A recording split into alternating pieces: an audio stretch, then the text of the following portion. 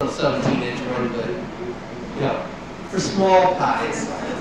Um, this one just has uh, mineral oil and uh, beeswax on it. And the other ones up here are what they call a traditional style rolling pin. Um, it has ball bearings in the end and a shaft through the center of it, and the it spins on the ball bearings. I have four of them up here in, in different states of turnings. Um, this one is just the block of a Celtic knot, double Celtic knot design. Anybody wants to learn how to do that? We can do a demo on that some night. Takes four days to make this though, so be patient. Doesn't take long, but you gotta let glue dry. Um, then I turn it into that, and then from here it goes into drilling the ends for the bearings and a hole all the way through the center of it for the shaft. And at that point, you put the bearings in it. And the bearings and the shafts I get at uh, Fastenal. Um, I have them up here if anybody's interested. The part numbers are on the sides of the box. Yes, Roger? The bearings pressed in or they glued in? They're just pressed in. And the shaft glued onto the handle? Yes. Epoxy? Yeah. Um, the handle are glued onto the shaft, and in between the handle and the rolling pin, if you look at this one, there's a little plastic washer um, that I stick in between there just to keep keep them from running all the way up against the, the edge. But yeah, they're epoxied on to the shaft. Um, after I put the bearings in, I will nick up the ends of the shaft so the epoxy sticks to it and then just use the five minute quick set epoxy, put a little on it, shove them on there. Is it a through hole, solid shaft, or is it two-separate shaft? One long shaft. How do you get around that hole? Um, I have a homemade steady rest. Um, you clamp onto it with a chuck on this end of it and run a Forstner bit in so far for the bearing. And then from there, you run, a- I use a six inch or seven inch, half inch uh, drill bit and drill so far in on both ends. And then I got a long drill bit that's about 18 inches that I shove in that you got to cut about two inches out of the center of it. Have you ever thought about when you boot it up, leave the center part open, you just close up the ends, so that you only can drill the very ends? I start out with a three foot or three inch by three inch block. So You could have okay. You could put the hole in you glue it up, yeah. you still would have to drill a hole all the way through. And he's saying, you could glue up what you left that center on. You can't do a Celtic knot with a You start out with a. yeah. You can't do a Celtic knot uh, segmented piece because the, the the pieces that you inlay into it go completely through from one end to the other end. You can't you can't glue up a, a you could I guess you could glue up a rolling pin in segmented, but it'd be pretty tough. You know, I guess you could if you did it in stage form or something like that, but I just use a, a solid block. Okay, so we're gonna do pretty much a French style rolling pin. Um, I said a couple of people I talked to that are pastry chefs at, um, the Blue Owl, they like it to be seven to 10 inches, flat in the center, and then taper down. Um, some of the books that you read, they say taper from center down, but the problem is, as they say, is you can, your dough's never flat. It's always thicker in some spots, and if you're trying to do pies and stuff like that, you pretty much want a flat, flat, even pie crust, so that's the reason why I did it the way I did it. Um.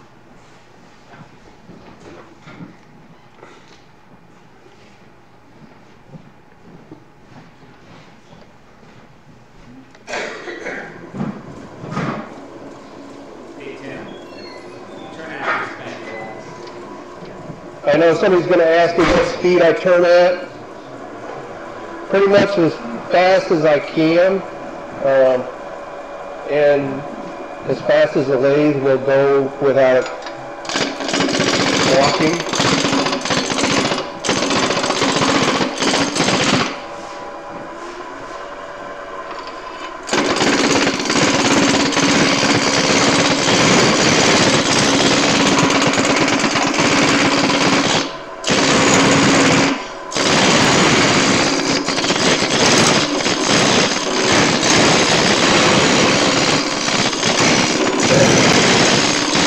These blanks are two small pieces of maple, and what I have in the center is a piece of walnut. And what I did was drill a three eight, uh, three quarter inch, used a three quarter inch Forstner bit, drilled about an inch and a half down on both sides of it, and drilled a three quarter inch hole through my piece of uh, walnut, and then just used a three quarter inch dowel and glued it back together again so it's doweled. Um, makes it sturdy so it won't flex on it.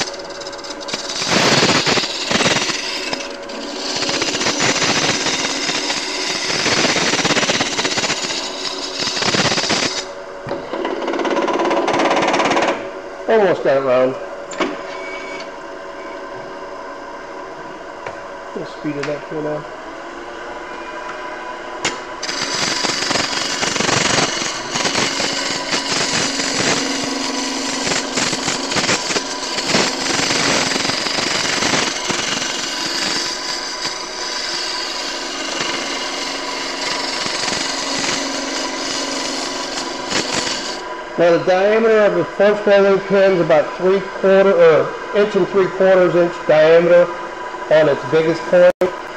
Um, and on that one, I have it tapered down to about an inch and a quarter at the ends.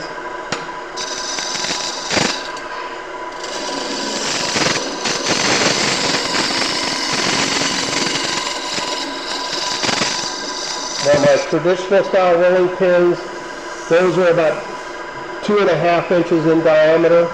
Um, I start out with a three inch by three inch block, but by the time you get uh, your Celtic knot design cut in it, you don't cut all the way through when you're doing the inlay part of it, so uh, you leave about a quarter inch, so you have quarter inch on each uh, on each side that you're getting rid of. So uh, it ends up being about two and a half inches in diameter.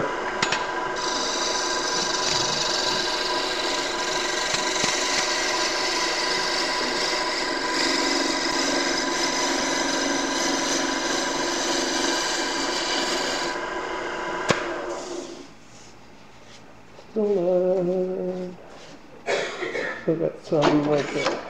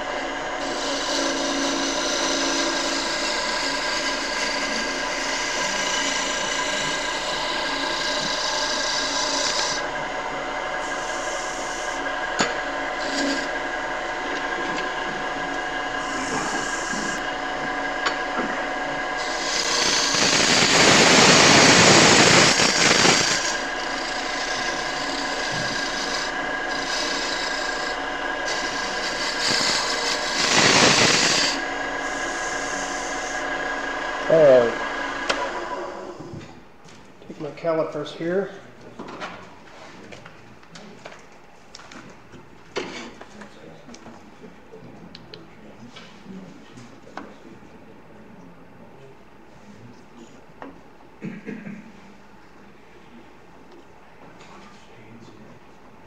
Uh, one point seven eight. 1.81 on that end, so I'm a little bit high on this end still, but right at about where I want to be. Um, We're going to go ahead and just do, uh,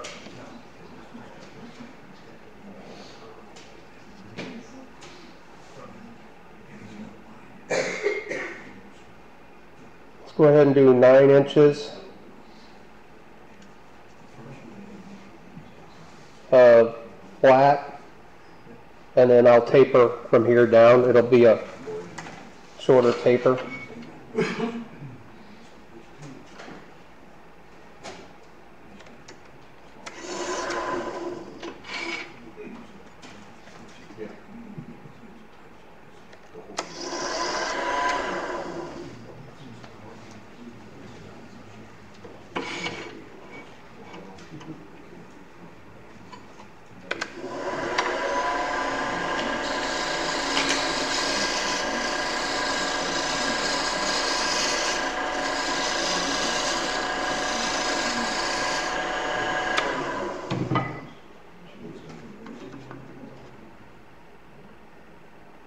1.79, 1.77, 1.79, 1.79. So we're it's pretty much flat across here. We'll do a little sanding on it, but close enough to, for pie crust and cookies.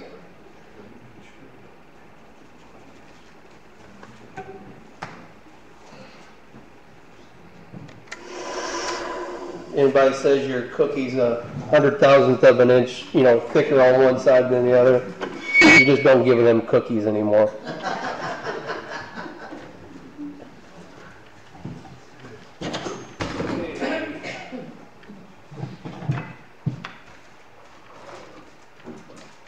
I'm gonna go ahead and mark my,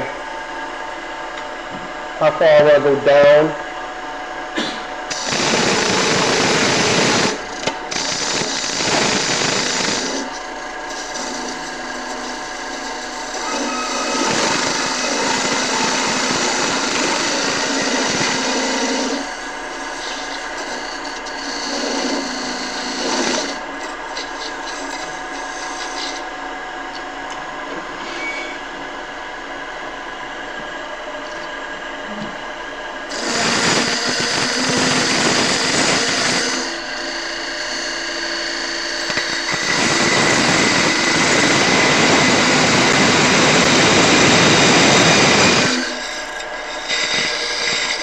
If you're gonna do that, just make sure that your calipers are, the points on them are rounded. Um, usually you won't get a catch then. Well, they'll be rounded if you do it enough. Yeah, well, that's true too. Um, so now I got my ends here, so now I just gotta taper down from here down to the, to that point on both sides. And for these, I usually just use my roughing gouge for the whole thing.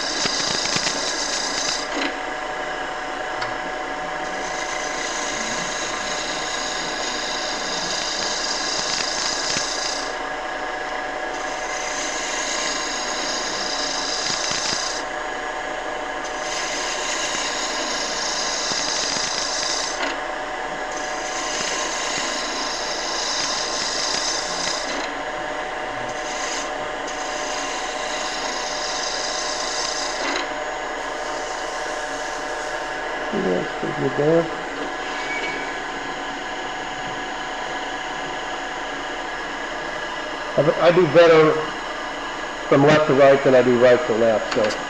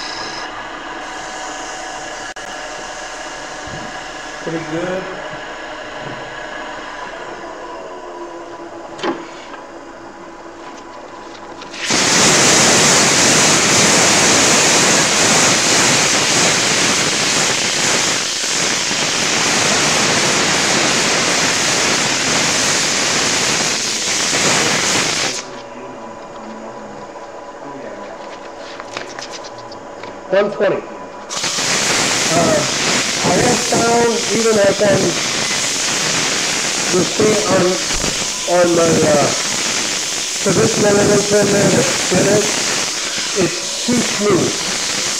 Um, not even a little rough um, because it helps when you're using them if uh, if they're a little bit rough, uh, the flour will stick to it.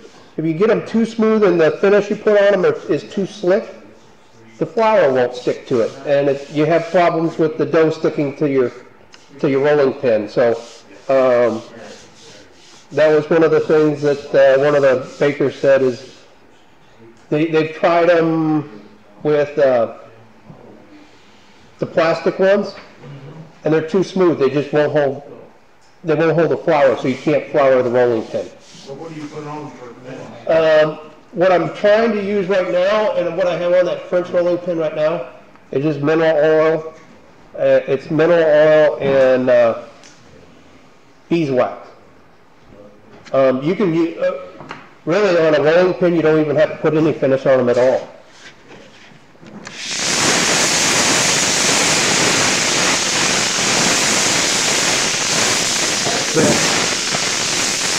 I've been doing, I've only been finishing, uh, sanding them to like 180 to 220.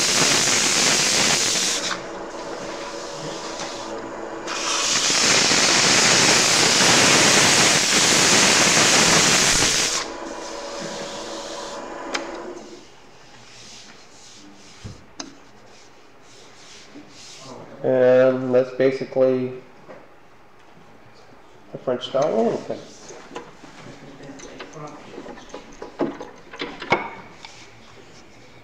Now, I'll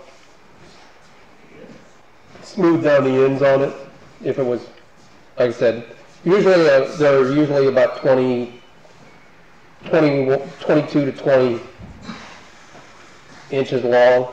This one's only like 17 inches, so it's uh, a small one, but I, uh, put it here, it's kind of tight to get, get to it, but I, I would round off both edges just a little bit. And that's all there is to it. What's the challenge for next month? Next month's challenge will either be a French style rolling pin or a traditional, whichever one you prefer. Or you can do just a regular pin rolling pin, which is just a cylinder. And no, you can't go buy a dowel rod, Roger, and just throw that up there.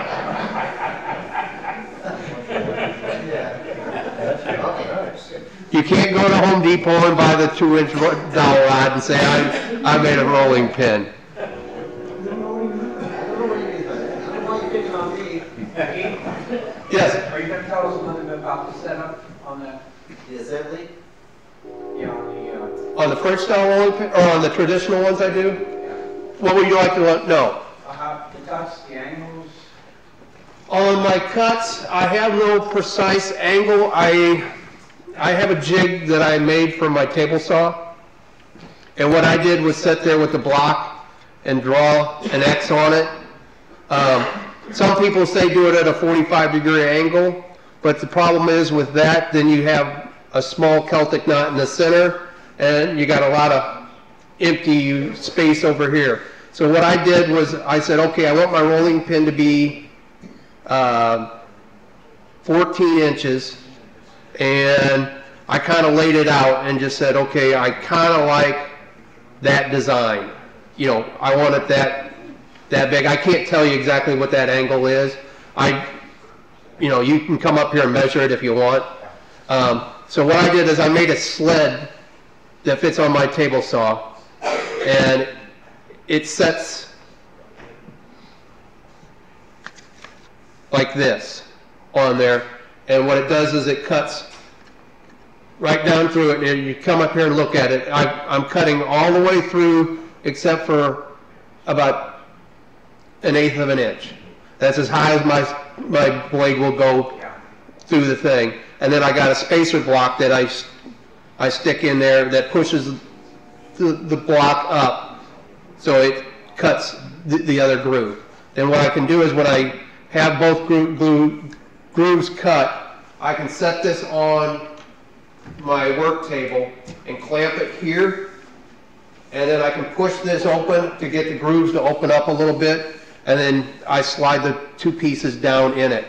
When you're doing a Celtic knot design, the two things that everybody makes a mistake about is they cut the piece completely in half and then they try to glue a piece wider or smaller than the, the piece of wood that they took out of it, and that's why they never line back up again. So on a Celtic knot design, you don't cut all the way through it, and the piece that you gotta slide back in has to be exactly the same thickness as your saw blade. And the only reason you don't have to cut through it is you're gonna take off that piece that didn't go all the way through anyway. Correct, yes. I mean, that's why I start out with a three-inch blank, and it ends up being uh, two and a half inches in diameter at the end, is because I'm losing a, a quarter here and a quarter here. That makes up my, my my half inch. You know, if you measure it, it's probably a little less than a quarter, but once I get, to get it completely round and smooth and everything else, it ends up being right at two and a half inches in diameter. And if you come up and, somebody was calipering these earlier, they're within pretty much uh, 251 to 250 all the way across the rolling pin. And like I said, it's a hundred thousandths of an inch, you know, across 14 inches. If somebody says my cookie's a little thicker on one end to the other end, they just don't get no more cookies from me. Um, Do you trim your ends with your table saw to get rid of the dimples? On this one right here, I did. Um, this one right here, I did it, uh, actually, I did it last night. Um, I drilled this one and everything last night. Um, and once I had it drilled, I put it on my sled, on my, I got a cross-cut sled on my, uh, table saw, and just went, went through and cut the, the, uh, the edges right off of it with my table saw. And that, either end of this has not been sanded or touched. It came right off the blade like that, and you can come up and take a look. That's how smooth my saw blade cuts. It's an expensive saw blade, but I don't have to do any sanding with it. I mean, it's one of the uh, red fraud, Freud, um, you can get them up at Rockler, you can get them over at the wood, wood show, but they cost about 75 bucks for the saw blade. But I've had two of them for the last seven years now, and I've cut a mile of oak on them. And, uh, they, the, the cuts I got on when I do the segmented work, I don't have to sand or anything. I mean, they're, they're smooth. Spend the money on the saw blades. I use, and a couple of guys have come up to my shop, or my garage, so-called shop. It's a two-car garage that two cars go in every night, so I move everything out. I have a, just a little contractor flip-up table saw. Uh, everybody says, oh, to do segmented work, you gotta have a cabinet grade, you know, saw you can't do. I have a little fold-up Craftsman table saw and a seventy dollar saw blade on it. And That's, that's what I get with it. Have you ever played with thin kerf blade? Um, I haven't, the, when I bought, bought my first Quad, they didn't come out with thin kerf yet. And the, the problem with me going to a thin kerf now, I have to redo all my jigs. So, yeah, eventually I'll probably go to a thin kerf blade, but, uh, that just means all my, all my jigs have to be redone. So, right now I'm just sticking with the full thickness blades, but, um, my, my saw would probably work a lot better if I used a thin kerf than a full, full kerf blade, but that's what I got, so that's what I'm, um, and like I said, it doesn't look bad with the, the Celtic knot at the, the full eighth inch thick, but if you went, uh, thin kerf, it would probably look a little bit better. Um, everybody thinks, you know, why is it so thick at the ends? It's just an optical illusion. If you look at it this way, the, the piece is the same thickness all the way across, it's just that you're cutting it more at an angle at that side. Any other questions, Bob, on? How, how much space do they between the two veneers?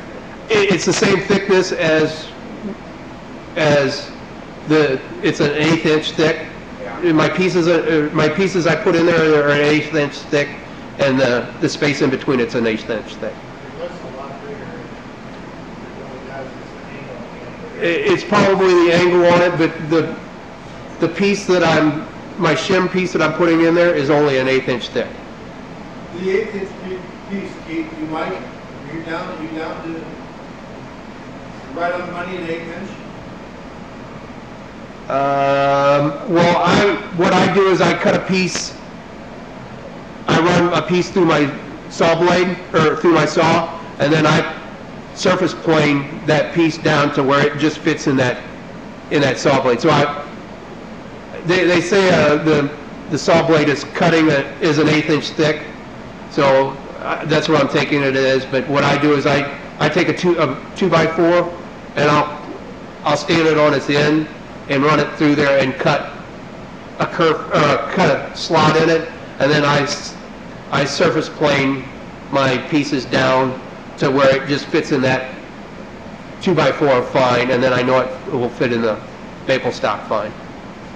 I wish I had a a drum sander that I could run it through, but I don't, all I have is a surface planer, so it's, you know, I get it down to eighth inch thick. Um, But the, the bearings and the shafts I get out at, at Fastenal. Um, I just bought a six-foot piece of stainless steel, and you want to make sure you use stainless steel rod, because if you just use cold rolled steel, it will rust on you. Um, Another thing, if you make these, tell the people, don't soak them in water, they can't run them through the dishwasher, or they're gonna have a whole bunch of little pieces in the bottom of their dishwasher afterward, because it's just held together with wood glue. Um, That rolling pin there, we use it all the time, all we do is wipe it down with uh, a damp rag. Um, But uh, that's how I do the traditional, uh, they call it the tr- traditional uh, American-style rolling pin. So does Fastenal have the stainless steel? Yes, they have it, uh, I bought a six-foot section of stainless steel, non-polished. If you get the polished stainless steel, you're, it's about three times, as three times the price. They get, uh, you can get non-polished stainless steel rod, and I bought six foot of that and eight bearings, and it cost me right at 34 bucks. And I can get three pieces, three shafts out of that six-foot piece. So is that five sixteenths, No, it's three eighths. And the bearings are seven eighths outside, three eighths inside diameter. The bearings are like a buck and a half a piece. Uh, the stainless steel rods, uh, I said out of a six foot long, I can get three pieces and then I have like a foot left over. You could probably get it, but I leave three inches on each side for the handles to go on. You could get it down to, if you got it down to two inches, you could get four, four pieces out of it. But I'm always afraid of, you know, just two inches shoved onto the handles. They may want to break off or something like that, so. You say you put a plastic washer. Yeah, you can come up and take a look at it. It's just a, I get them up at Home Depot or Lowe's, and they're just, uh, seven eighths inch outside, three eighths inch inside, little plastic, uh, washers that they have in their little packages up there. And I will, I do that because when I go to put epoxy on the shaft and epoxy the handle on, if I get any squeeze out, it'll go onto the washer, and it won't go onto your bearing and seize your bearing up. But, uh, any other questions on the rolling pins? Wa- Washer keep flour from getting in between there. It, like I said, I haven't had any problems yet. I mean, we use that one on a, you know, fairly regular basis, but I haven't had any problems with it yet. Um, we had one before that that we bought, you know, 25 years ago when we got married, and it was the same design. I pretty much, you know, looked at it, and it had, it had a plastic washer in it with the bearings in it. We never had any problems with it. It's just that you just can't soak them in, in water. You, you know, wipe them down, and that's about it. Um, Like I said, the French style, they're, they're fairly simple, and like I said, both of the ones that are up here I had, I didn't have a long piece. I had a couple short pieces on my, in my junk pile. So all I did was chuck them up and drill a three-quarter inch, because I had a three-quarter inch dowel. I just drilled a three-quarter inch hole into both of them about two inches deep, and then took that piece of maple, or uh, walnut, drilled a three-inch, three-quarter inch hole through that, and they just shoved the dowel in between them and glued it, glued it back together again to make a long enough piece. If you were gonna use maple, what other woods could you use? Um, there's about three of them that they say are good for rolling pins. Um, maple, cherry, and birch, Birch, yes. Uh, you don't want to use any woods that are, have big open cells to them like, uh, oak, red oak, because the, the food will have a tendency to get stuck in the pores. Um, I guess hickory would probably work as a, as a rolling pin too, if you could find a piece that you could turn. Um, the harder woods and the, the smaller pored pores, uh, of the wood are better for rolling pins, because, like I said, if you have oak, and if anybody's ever turned red oak, it's got pretty big open pores on it, and your flour and stuff like that will just get stuck in it, and then you, yeah. What, what's your inserts? What kind of wood are they? Um, those are, uh, walnut and cherry. Um, I've done them out of, uh, I did one out of bloodwood, and, uh, it turned out really nice, but really tough to, to get it, I, I had problems getting it eighth inch, because all I could get was one inch stock bloodwood, so I had to plane it down and, and resaw it and stuff like that, and it was a pain in the ass to get it, uh, uh, eighth inch thick bloodwood, because you can get bloodwood in eighth inch thick, but it's usually only an inch and a half or two inches tall. On those, I need it a little over three inches. Um, because what I, when I cut it, I cut them like ten and a half inches long, and they're three inches tall, and then I have a little bit overlap on, on the three sides, and then once it dr- dries and glues up, I take it and put it on the bandsaw and cut the, the- the overlap off of it.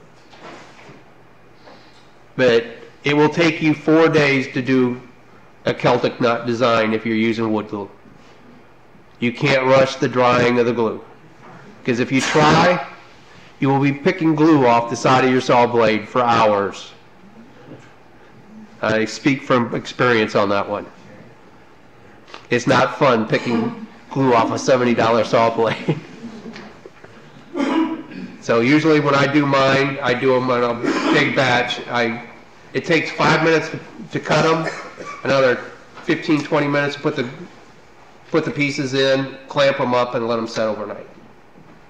And then come back the next day, cut the excess off, cut your slot and do it again. What do you mean clamp them up? Well, when I, like this one here, once I cut them and glue the two slot, two pieces in it, I take some clamps and clamp it, clamp it together to hold it, hold them tight. And let them set overnight and then turn them, do the same thing again, same thing again. If anybody wants to see my jig, let me know, I'll take, I'll bring it in next month. I had it in here a few months ago, um, but if anybody's interested in learning how to do this, um, I can, I can show you. Uh, I can get you started, but you're not coming back for four days to learn how to do all four sides. I can get you to do one side, and the rest of it's all up to you. But they're not bad. Any other questions? Thank you.